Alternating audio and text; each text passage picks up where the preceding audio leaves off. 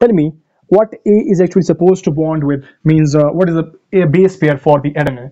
Means adenine is supposed to bond with what? Thymine cytosine guanine or uracil. What is that? So uh, oftentimes when we don't have the concept we forget.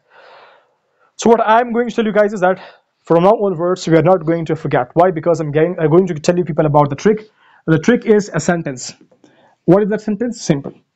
Where you find your naughty friends uh, those who are fond of girls at girls college. Sorry for that. It is a, actually a kind of trick to tell you guys about uh, this particular base pairing. What is that trick? Simple a sentence. At girls college. Okay?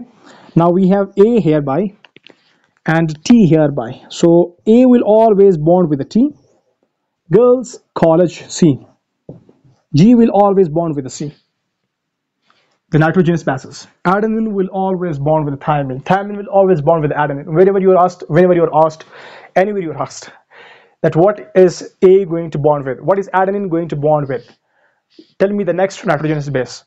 Simple. You will say T. Why? Because I told you the trick. This is going to work in any case. If you are asked about the adenine or the thymine, you will always say a is always with the thymine. Thymine always with the adenine. Why? Because you got the sentence that at girls college. A is always with thymine. G is always with the cytosine. Cytosine with the guanine, guanine, cytosine. Adenine, thymine, thymine with adenine. So this is the particular sentence that will help you out to answer any of the questions when you're asked in Viva by, from friend sites anywhere well this is the trick from my side. If you know a trick beautiful then this one i hope you know beautiful one please comment that in the comment box. And let's know and uh, let's learn and let's help one another. So that's it all. Thanks for watching. Please drop your, your trick in the comment box